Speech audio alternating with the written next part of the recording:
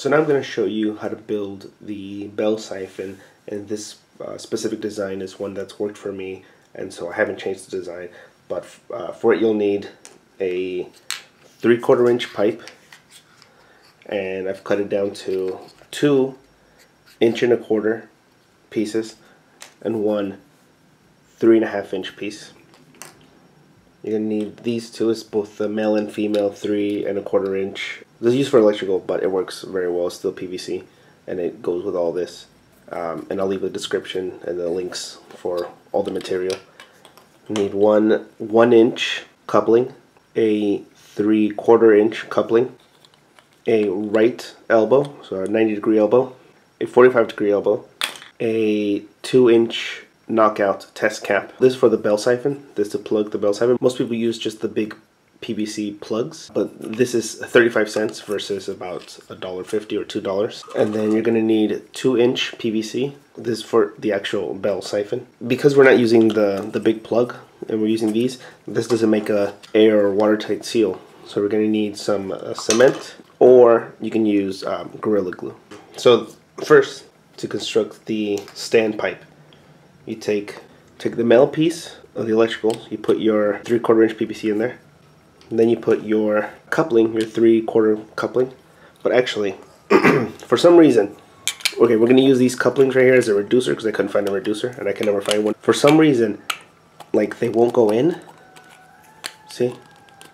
But I don't know why it's built like this. This side is smaller. One side is always smaller, and one side goes in easily. See? But this side just won't go in. And uh, even though it goes in pretty easy, this is more than a good enough seal. So you put that in, then you put that in here, and bam, there's your standpipe. And then for the bottom, we get the female end of the electrical PVC. I'm gonna put in the pre-cut one and a quarter inch, um, three quarter inch PVC. Put the right elbow in there, just like that then put the three and a half inch like this, and then finally 45 degree elbow. And it should look like this. So there's the drain, there's the siphon, there's a standpipe, and when you put it in, obviously this is going to go with your grow bed, the bottom of your grow bed that you cut right here, and it'll go like so.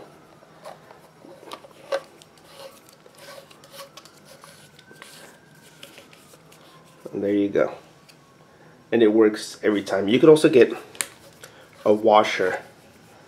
Put a washer in here. It might cost you uh, about a dollar something, but sometimes I get one, sometimes I don't. It depends on the material or the thickness of the grow bed material.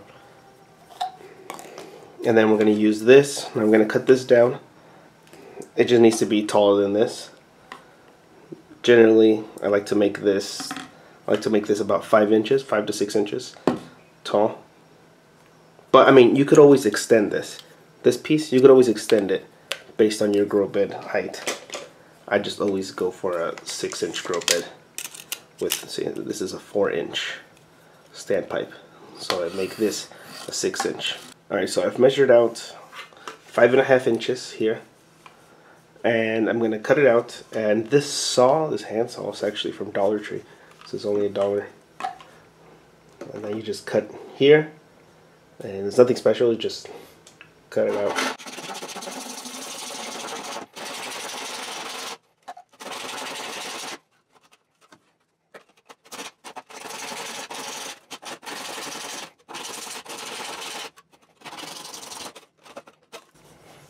So now I've got our five and a half inch cut pipe and then obviously you want to clean this up and this is probably dangerous, but I just I just take the the saw itself and just clean it up like this.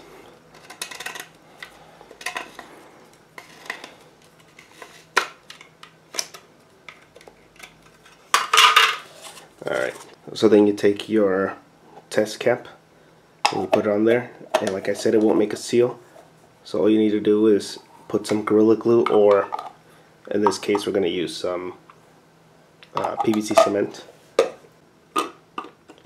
and just a little just a little will do you You just want that watertight seal.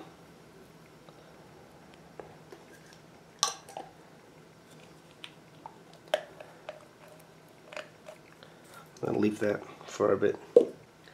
Alright, I forgot to mention, uh, in order to make a hole into the grow bed, I use this one inch bit and it works really well because it's the same it's the same size.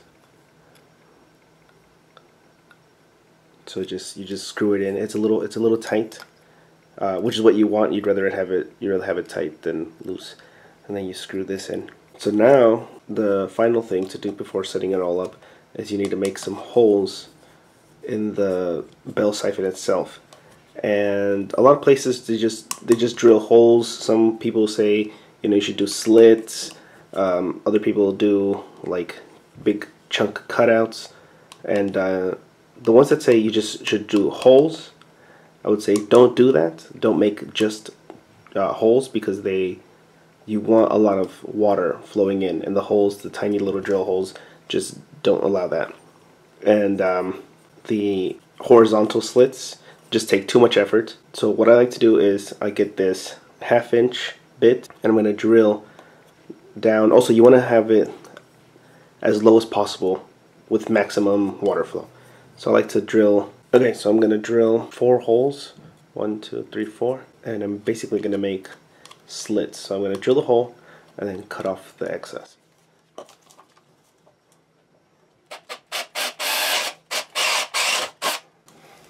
See, just like that. And then I'm going to basically cut this little notch off and do the same thing. I'm going to do that three more times.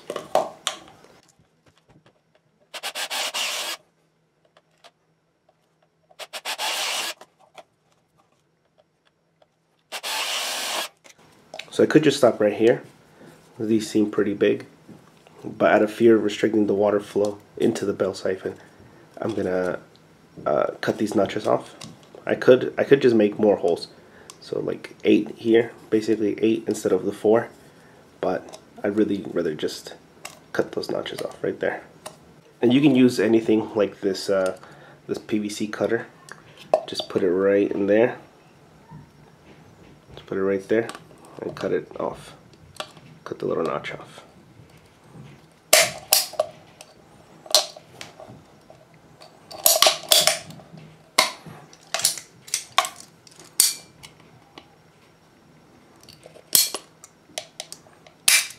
And see, there you go. And I just do the same thing for the other three.